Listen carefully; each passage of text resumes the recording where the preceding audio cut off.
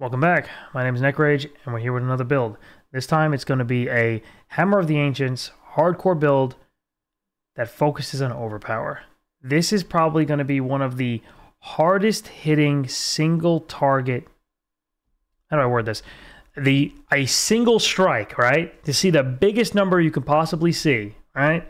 This is probably going to be that build yeah, you could do some stuff to tweak it here and there. And of course, if you make it a soft core build and you ignore all of your survivability nodes and you go for straight up damage, yes, you will hit harder. But what I mean is a hardcore viable build that hits extremely hard that will probably dunk every elite and and do massive damage to to bosses and world bosses.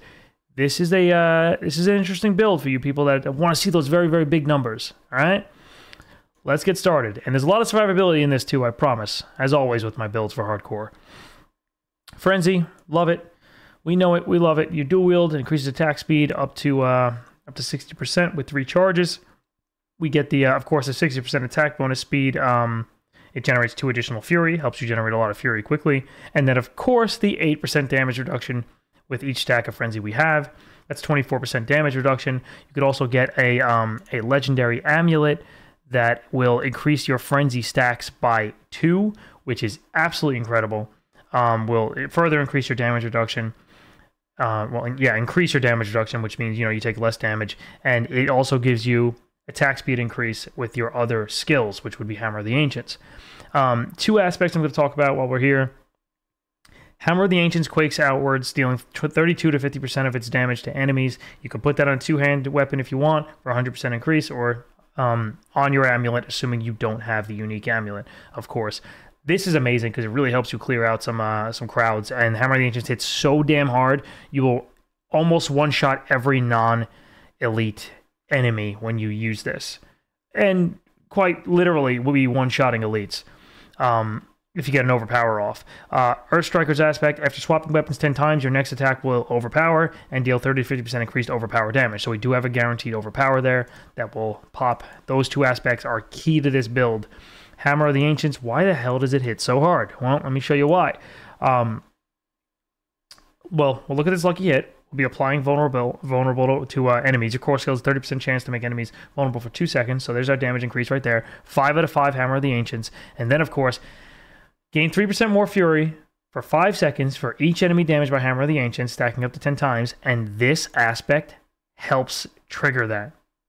So when you use that aspect, it does an AoE, you'll help get the uh, additional enemies hit. It'll help you gain more fury so you can follow up with additional Hammer of the Ancients quite quickly. Hammer of the Ancients deals 1% additional damage for each point of fury you had when using it. That means the more fury we have, the more damage it will do, right? So if you have 100 fury, it does 100% additional damage. That's double damage, right? Well, that's not where we end things because we can increase our maximum fury using the Paragon tree, right? So that's an option, and we're definitely going to utilize that amongst other things. This is a hardcore build, so we definitely take the 15% additional maximum life. We take the 9% damage reduction versus elites. That works on bosses, act ending bosses, your world bosses, of course, your elites, dungeon bosses, all that good stuff. It's great. Rallying Cry, movement speed, resource generation, works for you and your allies. Unstoppable, gets you out of your crowd control effects. For those of you that don't know, you can't use a potion if you're stunned, so stuff like this is, is very, very important. If you're stunned or frozen, no potion for you, so you might die in that and lose your hardcore character. Make sure you have a way to get Unstoppable applied to your character. And additional tip, you can use abilities that give you Unstoppable while you are crowd controlled. So you can't use anything else. You'll see like your entire bar gray out, but you'll see one ability, or maybe you have two abilities with Unstoppable. They'll be lit up. Essentially, the game is telling you, hey, idiot, you can use these abilities, use it, break out of the stun, get out of there, and save your life. So very important uh, point there. Rallying Cry generates 20, 20 Fury and grants you an additional 20% resource generation. We went with that because we do like as much resource generation as possible for this build to be just pumping out Hammer of the Ancients. And it's going to cost us 70 Fury to use Hammer of the Ancients. I'll show you why. I know it says 35, but we're going to get there.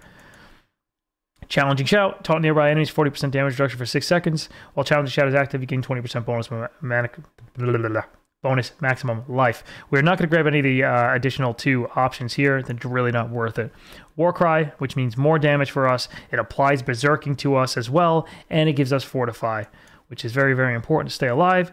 Uh, we get shout duration increase, reduce damage uh, from enemies that are affected uh, by our shout. So if we use a shout and there's enemies nearby, they'll have their damage reduced by 12%. That helps you and your allies if you're grouped with anyone. That's great.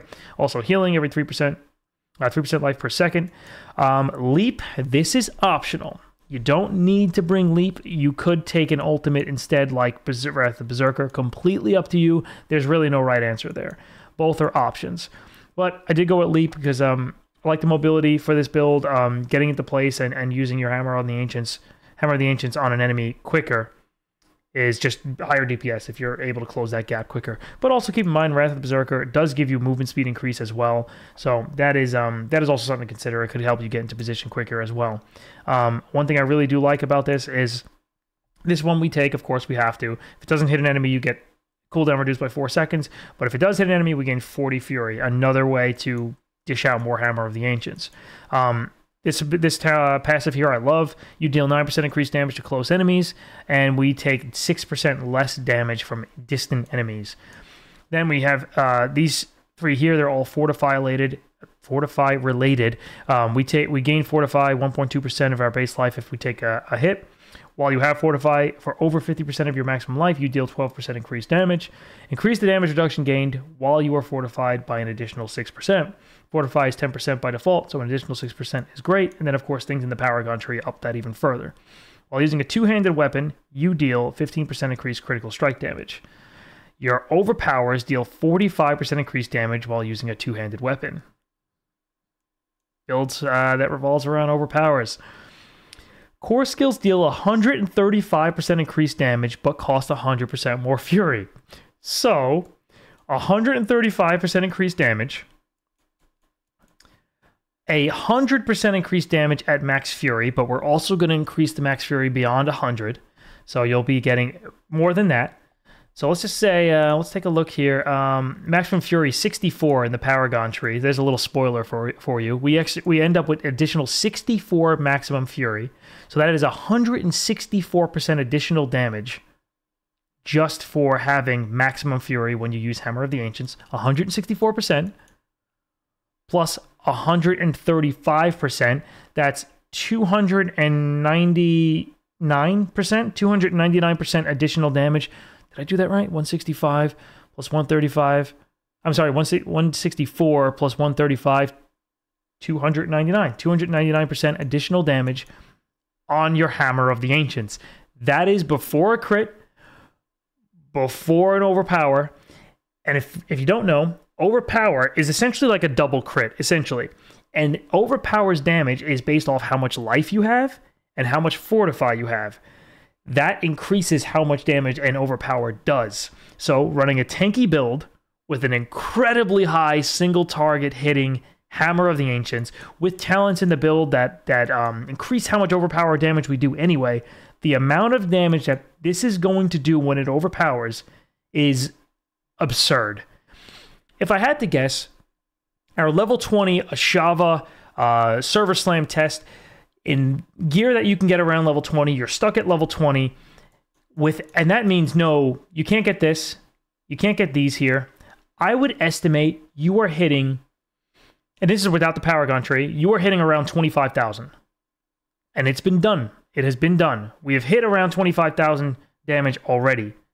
In at level 20 in the Server Slam, no Paragon tree, no final passives here, none of these passives because we couldn't get them we already hit 25,000 damage. You will be doing around 25k, maybe even a little bit more, depending on your gear.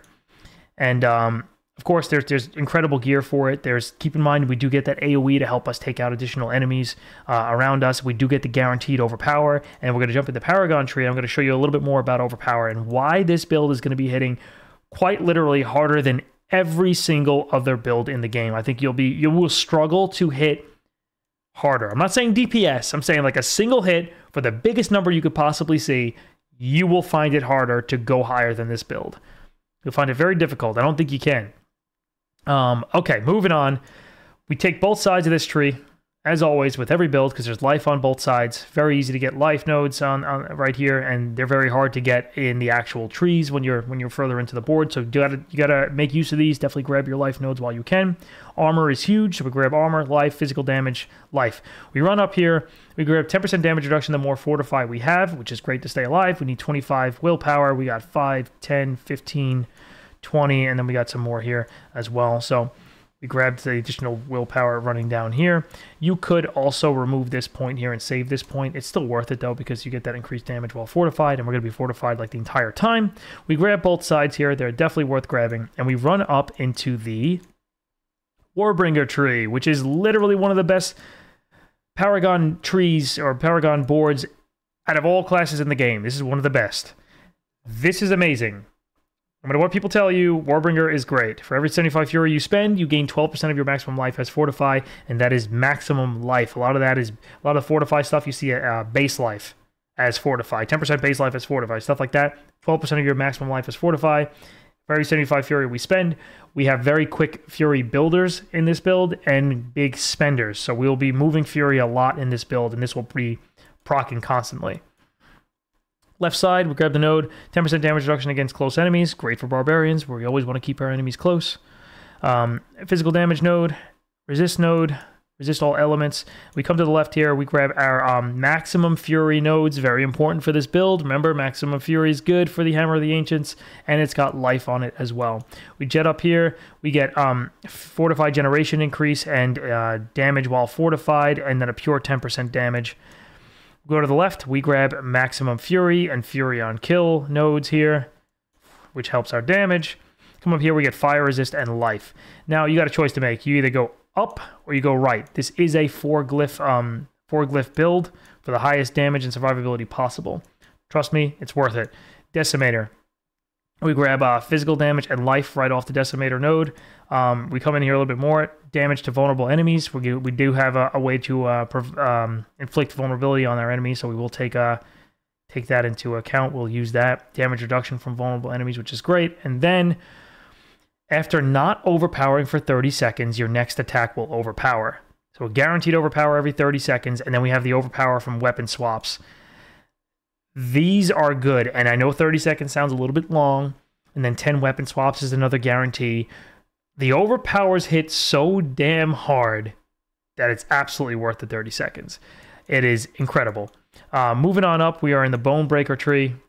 Did I go over the other things though? I did, right? Damage to vulnerable enemies? Yeah, I did. And we grabbed the life nodes here. We do like our life nodes, so we chased after them a little bit. Coming up into the Bone Breaker uh, Paragon board here damage reduction while fortified, increased fortified generation, and then overpowers with your two handed bludgeoning weapon, stun enemies for 4 seconds, and grant you 25% of your maximum life as fortified.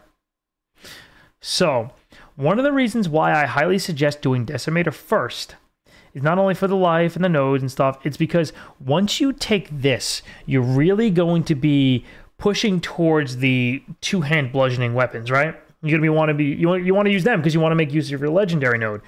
The problem while leveling is I personally don't like to lock myself into a single weapon type because you never know what's going to drop. You might have a two-hand sword that drops and you're like, whoa, this thing's incredible, but I have this legendary node, so I can't really use the two-hand sword. You want to take your time getting to this node because once you do, you want to make sure you already have a really nice two-hand bludgeoning weapon that's gonna it's gonna last you. You'll find new ones, you'll definitely find better ones, but you don't want to lock yourself into one early. You don't want to lock yourself into a single weapon type too early. But that is incredible. Weapon stun, fortify. We have overpowers going off quite frequently in this build as well. Um, so damage reduction while fortified, fortified generation. We jump over here. More damage while fortified, um, 5% damage while healthy, which is great. A bunch of healthy damage. So when we run into a into a fight, maybe it's been 30 seconds. Um, you're going into a, the final area of a dungeon, and you're like, okay, I know this this werewolf boss is quite strong. Let me let me hold up for 10 seconds, make sure this this glyph takes effect. Okay, now I'm going to overpower it at the start of the fight. You go running in there. You're healthy. You're at full health. You have your your fortify running, and you slap him for an overpower right off the bat for like 50k. That's actually going to happen. That is how this build's going to work. Um, crazy amount of additional overpower damage, uh, damage to two-handed bludgeoning. So when we do get to this tree, Bonebreaker, we do get two-handed bludgeoning specific. So you are going to end up with a two-handed bludgeoning weapon in the end. Definitely worth it. Then we grab our lovely life and armor nodes. We love having those. We love staying alive in hardcore. Very, very important. And then, of course, we run to our final glyph. While wielding a mace, you deal 30% increased overpower damage. the damage in this build is... It's dirty it is going to be very high. Damage reduction while healthy. Damage reduction while healthy, which is good. That means when we have high health, the first hit we take is going to do much less damage because we're at uh, we're considered a healthy state. More overpower damage. Ooh. And that is the end of the build. Looking at the stats page, 50% increased life from our Paragon tree, 990 armor, 27% uh, fortify generation, 16.35% resist all, not too bad. You definitely have to watch your resist though. Make sure you gem gem your resist and fire resist 30%. Damage reduction from vulnerable 10%, damage reduction while fortified 20%. That's in the addition to the 10% base and the 6% from the passive talent.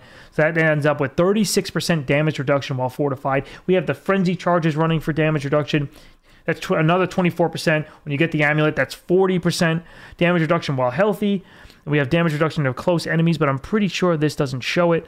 No, it doesn't show it. Um, yeah, well, it shows it at 0% because it's coming from a glyph. So we have that 10% as well. Just an incredible amount of damage reduction in the build. Very high life, very high fury pool, uh, increased fury generation. And the amount of damage it's going to do is just, just ridiculous. Just absolutely crazy. And keep in mind, that overpower damage is from the Paragon tree. Let's read a little bit about it. Ready? Extra damage granted skills when they overpower. Stacks with the bonus damage inherently granted to overpowers based on your current life and fortify. The bonus damage dealt scales with the skill that, that overpowered. Has a base value of 50%, capped at 150% against other players. I guess it would be kind of unfair running into PvP and just slapping someone for 90k. But keep in mind, we also have the 135% uh, increased damage there. The extra uh, 164% additional damage we get if we cast this at max fury. Um, that was 299% additional damage for Hammer of the Ancients. Then the overpower. The amount of damage this is going to do, I just, I cannot stress it enough. Like the numbers we will be seeing with this is going to be just. If you want to, if you want to have a build to run that you could have fun screenshots or little clips on a stream or something of like you hitting just for a massive amount, this is it. And if you ever do that, you ever run a run a stream with the build, let me know. Definitely uh, link me your videos. I want to see I want to see the results of this build. Um, if you guys are running this build, if you're interested in this build, if you have any questions, concerns, if you plan to run it, you plan to do anything a little different, let me know. I want to hear from you guys. And uh, check out the channel for other videos. Throw me a sub if you like this stuff. Uh, I also run a guild that's going to be playing in Diablo 4 Hardcore together. So if you're running alone and you want some companionship, hit us up. Take a look at the video description. Always happy to have more hardcore players and like-minded individuals with us. We'll go uh, kick some ass together. So thank you so much for watching. I'll catch you guys in the next video.